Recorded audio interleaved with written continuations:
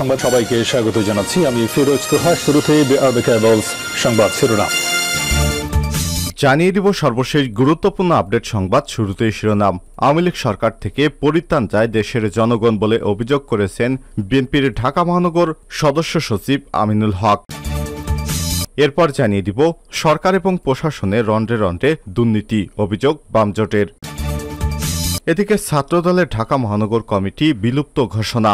বাংলাদেশ জাতীয়তাবাদী ছাত্রদল কেন্দ্রীয় সংসদের সিদ্ধান্ত মোতাবেক ঢাকা মহানগর উত্তর ও ঢাকা মহানগর দক্ষিণ, ঢাকা মহানগর পূর্ব ও ঢাকা মহানগর পশ্চিম শাখার ছাত্রদলের কমিটি বিলুপ্ত ঘোষণা করা হয়েছে।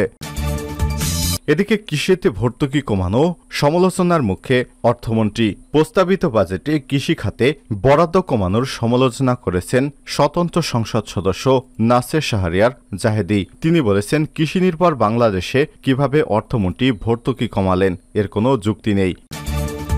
এদিকে ঈদের আগে পেঁয়াজের কেজিতে একশো টাকা ছুঁই ছুঁই। কয়েকদিন আগে থেকেই পেঁয়াজের বাজারে ঝাঁঝ বাড়ছিল। ঈদের আগ মুহূর্তে এসে সেটা আরও ঝাঁঝালো হয়ে উঠেছে। রাজধানীর বাজারগুলোতে দেখা যায়, দুই দিনে পেঁয়াজের কেজিতে বেড়েছে বিশ টাকা। এখন প্রতি কেজি পেঁয়াজের মূল্য প্রায় একশো টাকার সমপরিমাণ হয়েছে। এবং সর্বশেষ জানিয়ে দিব, কিশোরীকে যৌন হেনস্থা, কর্ণাটকের সাবেক মুখ্যমন্ত্রীর বিরুদ্ধে পরোয়ানা জারি।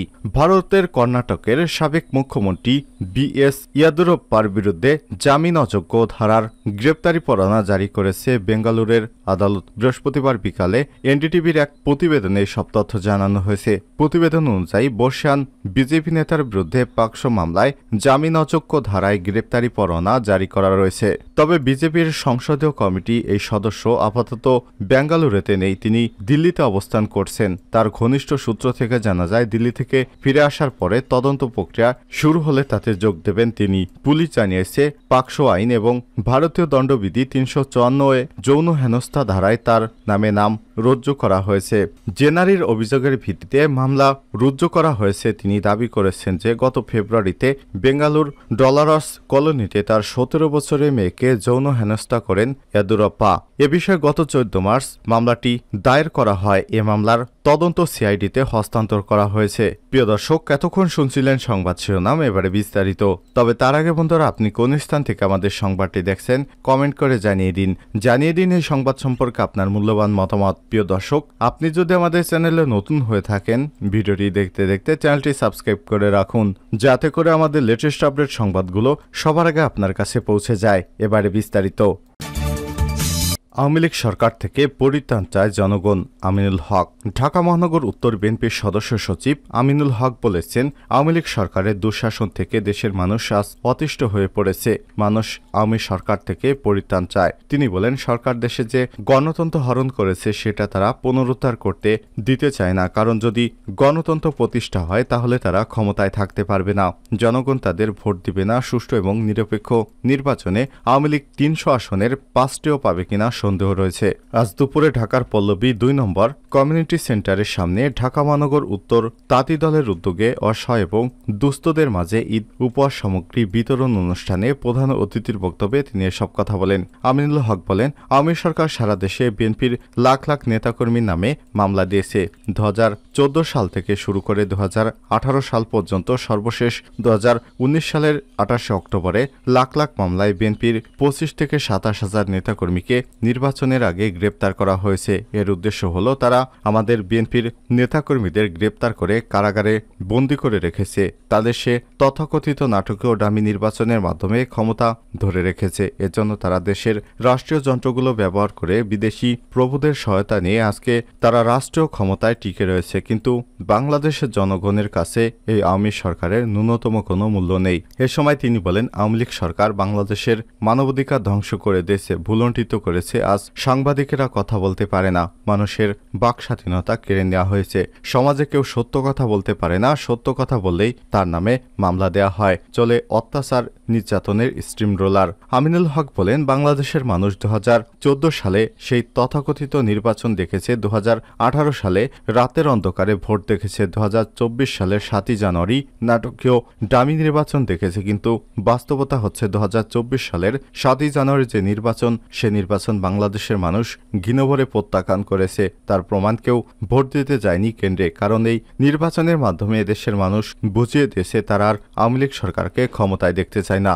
ঢাকা মহানগর উত্তর তাঁতি দলের সভাপতি শামসুন্নাহার বেগমের সভাপতিত্বে এবং সাধারণ সম্পাদক এম এ হান্নান খানের সঞ্চালনায় প্রধান বক্তার বক্তব্যে তাঁতি দলের কেন্দ্রীয় আহ্বায়ক আবুল কালাম আজাদ বলেন, আজকে দেশে গণতন্ত্র নেই, সংবাদপত্রের স্বাধীনতা নেই, সাংবাদিকদের লিখার স্বাধীনতা নেই, মানুষের বাক স্বাধীনতা নেই, মানুষের মৌলিক চাহিদাগুলো আজ ভুলণ্ঠিত হচ্ছে। এ সময় তিনি বলেন, দেশে গণতন্ত্র প্রতিষ্ঠা করতে বেগম খালেদা জিয়াকে মুক্ত করতে হবে, মুক্ত করতে হবে, রাজপথে নামতে হবে। ঢাকার রাজপথে রক্ত গোলাপের পাপড়ি ছড়াতে হবে তবে দেশের আন্দোলন সফল হবে। খালেদা জিয়া মুক্ত হবে, তবেই দেশে গণতন্ত্র ফিরে আসবে। এ সময় অনুষ্ঠানে চাঁদপুর জেলা তাঁতি দলের যুগ্ম আহ্বায়ক আরিফ ইকবাল, লিটু তালুকদার, ঢাকা মহানগর উত্তর মহিলা দলের সিনিয়র যুগ্ম আহ্বায়ক লাইলি বেগম, পল্লবী থানা বিএনপির ভারপ্রাপ্ত আহ্বায়ক কামাল হোসাইন খান, সিনিয়র যুগ্ম আহ্বায়ক আশরাফ আলী গাজী, রূপনগর থানা সাত নম্বর ওয়ার্ড বিএনপির সভাপতি শফিকুর রহমান, মামুন সহ বিভিন্ন পর্যায়ের নেতৃত্ববৃন্দ উপস্থিত ছিলেন। সরকার ও প্রশাসনের রন্ধ্রে রন্ধ্রে দুর্নীতি, বামজোট। বর্তমান আওয়ামী লীগ সরকারের প্রশাসনে রন্ধ্রে রন্ধ্রে দুর্নীতি এবং সরকারের রন্ধ্রে রন্ধ্রে দুর্নীতি বলে অভিযোগ করেছে বাম গণতান্ত্রিক জোট। সারা দেশে বেপরোয়া দুর্নীতি, অর্থ পাচার খেলাপি ঋণ, বিস্তার উদ্বেগ প্রকাশ করে বামজোট বলছে দুর্নীতিবাস অর্থ পাচারকারী এবং ঋণ খেলাপিদের বিরুদ্ধে দুঃশাসনের বিরুদ্ধে আন্দোলন গড়ে তুলতে হবে। আর সকালে রাজধানীর সেগুন বাগিচায় ঢাকা সমাজতান্ত্রিক দল বাসদের কার্যালয়ে বামজোটের কেন্দ্রীয় পরিচালনা পর্ষদের সভায় জোটের নেতারা এসব কথা বলেন। বাম জোটের সমন্বয়ক এবং বাসদের সাধারণ সম্পাদক বজলুর রশিদ ফিরোজের সভাপতিত্বে এই সভা অনুষ্ঠিত হয়। এতে উপস্থিত ছিলেন সিপিবির সাধারণ সম্পাদক রুহিন হোসেন প্রিন্স, বিপ্লবী কমিউনিস্ট লীগের সাধারণ সম্পাদক ইকবাল কবির, গণতান্ত্রিক বিপ্লবী পার্টির সাধারণ সম্পাদক মোশরেফা মিশু, বাসদের মার্ক্সবাদী সমন্বয়ক মাসুদ রানা, সিপিবির সহকারী সাধারণ সম্পাদক মিহির ঘোষ প্রমুখ। ছাত্রদলের ঢাকা মহানগর কমিটি বিলুপ্ত ঘোষণা।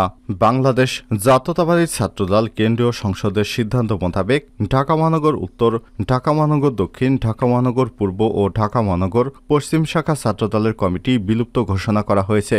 বৃহস্পতিবার দিবাগত রাত বারোটার দিকে ছাত্রদলের দপ্তর সম্পাদক, সহসভাপতি পদমর্যাদা মোহাম্মদ জাহাঙ্গীর আলম স্বাক্ষরিত এক প্রেস বিজ্ঞপ্তিতে এসব তথ্য জানানো হয়। প্রেস বিজ্ঞপ্তিতে আরও বলা হয়েছে, শীঘ্রই এই ইউনিটের নতুন কমিটি ঘোষণা করা হবে।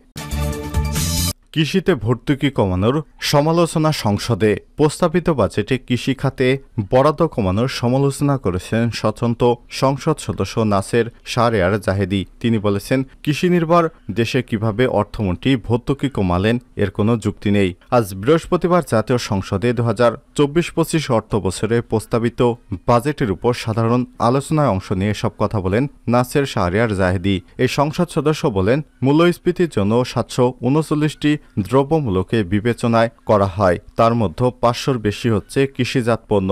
মূল্যস্ফীতি কমানে কমাতে হলে কৃষির উৎপাদন বাড়াতে হবে। কৃষককে ভর্তুকি দিতে হবে। অত্যন্ত দুঃখজনক, কৃষিতে বত্রিশ দশমিক সাত শতাংশ ভর্তুকি কমিয়ে দেওয়া হয়েছে। চলতি অর্থবছরে যে বরাদ্দ ছিল তা রাখার দাবি জানান তিনি। বাজেটের বরাদ্দ করা অর্থ যথাযথ ব্যবহার না করলে জনগণ সুফল পাবে না, উল্লেখ করে সরকারি দলের সংসদ সদস্য আলাউদ্দিন আহমেদ চৌধুরী বলেন, সরকারি ক্রয় নীতির তথা পিপিআর এর সংশোধনের সময় এসেছে এটাকে যথাযথ সংশোধন করা, যথাযথভাবে সমন্বয় করে সরকারের টাকা অপচয় বন্ধ করার জন্য তিনি অর্থমন্ত্রীর প্রতি আহ্বান জানান। ঈদের আগে পেঁয়াজের কেজি একশো ছুঁই কয়েকদিন আগে থেকেই বাজারে পেঁয়াজের ঝাঁজ বাড়ছিল। ঈদের আগ মুহূর্তে এসে সেটা আরও ঝাঁঝালো হয়ে উঠেছে। রাজধানীর বাজারগুলোতে দুদিনে পেঁয়াজের কেজিতে বেড়েছে বিশ টাকা। ক্রেতা বিক্রেতাদের সঙ্গে কথা বলে জানা গেছে, গত মঙ্গলবার রাজধানীর সবচেয়ে বড় দুটি কাঁচা বাজার, শ্যামবাজার এবং কারণ বাজারে পাইকারি কেজিতে পেঁয়াজ ছিল বিরাশি থেকে পঁচাশি টাকা। মাঝখানে একদিনে যার পর বৃহস্পতিবার সেটা বেড়ে হয়েছে অষ্টআশি টাকা। আর খুচরা পর্যায়ে বিক্রি হচ্ছে নব্বই থেকে পঁচানব্বই টাকা, যেটা আগে ছিল সত্তর থেকে পঁচাত্তর টাকা। বৃহস্পতিবার শ্যামবাজার কারণ বাজারে গিয়ে দেখা গিয়েছে দেশি পেঁয়াজ বেশি বাজারে, ভারতীয় পেঁয়াজ কম। হঠাৎ দাম বাড়ার বিষয়ে শ্যামবাজার খুচরা পেঁয়াজ ব্যবসায়ী সাকিব আকন্দ বলেছেন, আমি বলতে পারব না, তবে গত দুই সপ্তাহ ধরেই অল্প অল্প করে পেঁয়াজের দাম বাড়ছে। আমরা পাইকারি কিনছি চুরাশি টাকা কেজি। শ্যামবাজার আড়তদার মানিক মিয়া বলেন, ভারতীয় এবং ফরিদপুরের পেঁয়াজ প্রতি পাল্লা পাঁচ কেজি চারশো দশ টাকা থেকে চারশো বিশ টাকায় বিক্রি করছে। এতে বিরাশি থেকে চৌরাশি টাকা কেজি পড়ছে। লক্ষ্মীবাজার এলাকার ভ্যানে করে পেঁয়াজ বিক্রি করেন আমিন। তিনি বলেন, একদিনের ব্যবধানে পেঁয়াজের কেজি পাইকারিতে ছয় থেকে আট টাকা এবং খুচরা পর্যায়ে দশ টাকা বেড়েছে। রোববার যে পেঁয়াজের কেজি ছিল ছিয়াত্তর টাকা, সেটি এখন চৌরাশি টাকায়। বর্তমানে ভালো মানের বাছাই করা দেশি পেঁয়াজ নব্বই টাকা এবং ফরিদপুর ও ভারতীয় পেঁয়াজ পঁচাশি টাকা কেজিতে বিক্রি হচ্ছে। ঈদের কারণে দাম আরও বাড়বে।